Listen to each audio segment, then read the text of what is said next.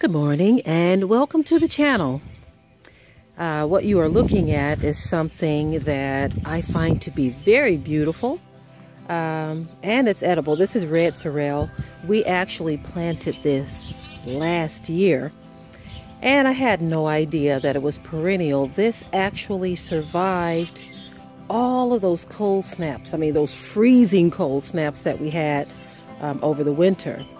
Uh, but I wanted to look at this beautiful plant. To me, it's also a very beautiful plant, but you can eat it. Um, it tastes great in salads. Now, it did die, but die back completely, but to our surprise, this is perennial. So we were cleaning out um, our potted areas, and um, we're still not done. Lots of leaves to gather, lots of spring cleanup to do in the garden here, but um, these were just sticking out to me because, you know, we did have some other plants coming back as well, but I've always thought that these were very beautiful leaves on this red sorrel. And it also tastes great too. You could put it on your sandwiches, put it in your salads, or you can put it in a mixture of greens that you may be sauteing.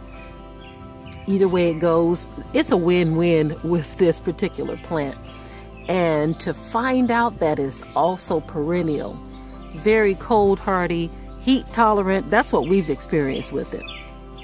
I'm, I'm just so happy that we decided to plant this last year. This was something that uh, we planted for the first time last year and much to our surprise. Look at it, it's in these pots and it looks great. So it, it could actually sit here and look pretty while being picked off of and eaten.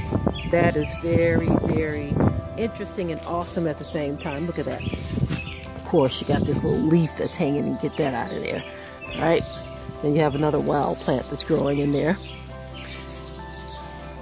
And so outside of that, uh, she is very beautiful still. Look at that one. This one is very full. A lot more full than this one, but um, I am guessing he's going, this, this pot is going to catch up as well. Um, there are some other weeds down there take out as well. But they, they pretty much hold their own. They, they take over um, the whole pot. And for the most part, they hold their own. I am thoroughly pleased with this red sorrel. Look at that, y'all. I wanted to share that this morning. Um, I've been meaning to share it for the past few days, but um, wasn't, I was able to, but it wasn't my priority. I'll just put it to you that way because I had so many other things that I was doing. And so, you know how sometimes you grab yourself a moment, you say, let me go ahead and take care of this now. And this is what I'm doing now. I am taking care of it since I am thinking about it and I haven't dived into everything that I'm going to be doing today. Uh, this is early morning. I was sitting at my desk there. I looked out and I said, you know what, I'm going to go ahead and take care of this now working on a very, very important project, family, that I've been working on for quite some time now. And so um, that project has been dominating my time and my mind, you know. Um, very important project in which we will be sharing um, soon. Soon. Not going to give uh, any details right now uh, because we are going as uh, the Spirit leads on this project. So thought I would come out here and share my red sorrel. Uh, of course, again, there's other things we've been working on as well too.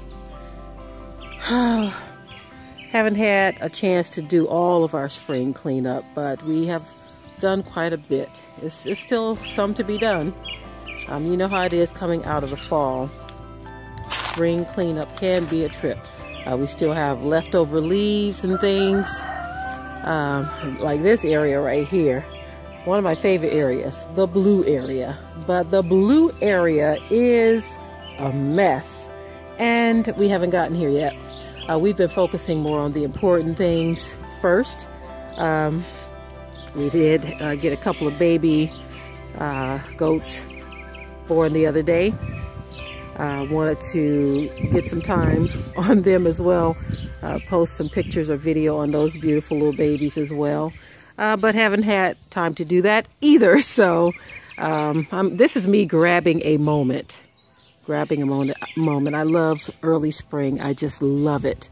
Early spring is my favorite time of the year. I love fall as well, but early spring I would say is the best. And so I'm looking forward to getting out here doing some more spring cleanup. Uh, we've been preparing our beds and uh, preparing the land and uh, situating things. We've built some more raised beds in the rear of the farm and uh, just, you know, things of that nature, getting things situated the way they are supposed to in preparation for this magnificent growing season.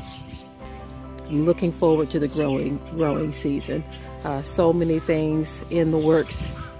Look at that. Look at those beautiful birds. Just Those are our pigeons, by the way. I love to see them in the sky doing their thing. Love to see them in the sky. But yes. Oh, what a beautiful morning. It's a little nippy out here, but that's okay. Nothing that we can't deal with. This is definitely tolerable. Definitely tolerable. Uh, coming out of the winter months, uh, hey, I will take this. I will definitely take this. A little breezy here. I'm glad we're getting the sunshine today. Uh, we did have lots of rain. And uh, the night before last, uh, whew, that uh, that wind and that thunderstorm was oh my goodness it was frightening i'll just tell you uh, some of those booms sh literally shook me out of my bed you know. They were so loud and so frightening. I said okay that's the most high at work handling his business doing what he does. And so we were certainly um, glad to make it through the night. I'll put it to you that way. Um, I was having a difficult time going back to sleep. So um, when I heard those booms and I couldn't go back to sleep, I used that as an opportunity uh, to plug in some more time um, on that very important project that I just spoke of moments ago. Um, I used that um, time wisely. I didn't just um, lay there in the bed looking at the sky and um, calculating every thunderbolt and boom but I used that opportunity to uh, plug in some more time on the project that I just spoke of. And so I think I am going to wrap up this video.